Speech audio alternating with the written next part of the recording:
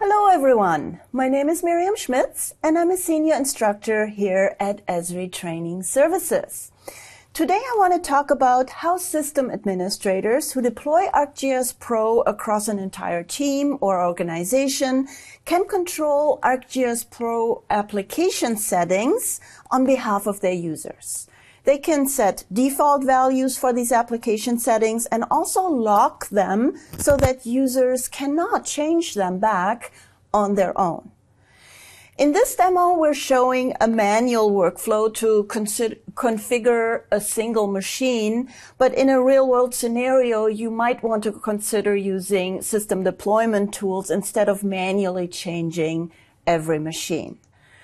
So the settings we're talking about are found under the options in the project tab. For editing, we can turn on the edit button on the edit tab so that users click the edit button first before they can create or modify any features. And there are many more of these application wide settings in all these different categories. When you set those settings, they apply application wide for all ArcGIS Pro sessions on this computer. For example, on the Edit tab, we now have the Edit button. We click it before Create and Modify are enabled. Now, how can system administrators share these settings? Well, the first step is authoring a Pro settings config file.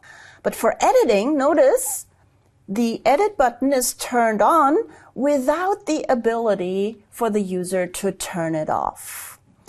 Now, is there any help for writing any of these application uh, configuration files, this pro settings config file?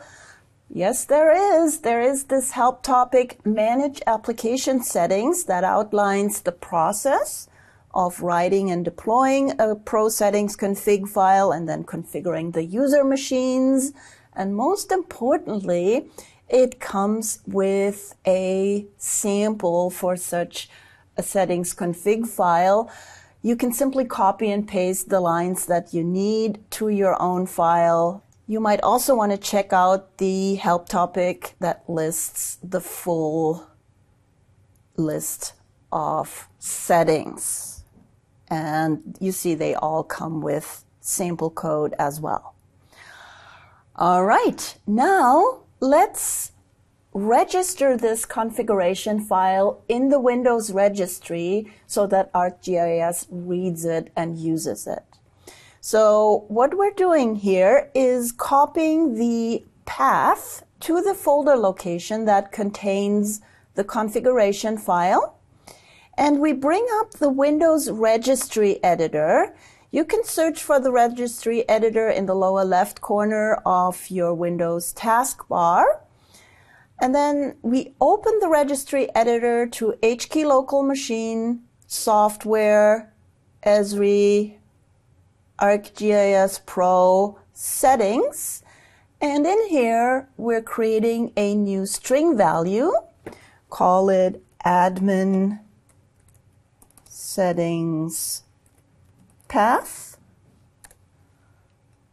and configure the string value with the path to our configuration file.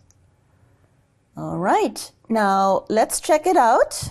Let's start ArcGIS Pro and see if it actually uses our settings. We start the project. And you see under project options, we have our editing setting now locked by the administrator. The edit button is turned on, but I cannot turn it off.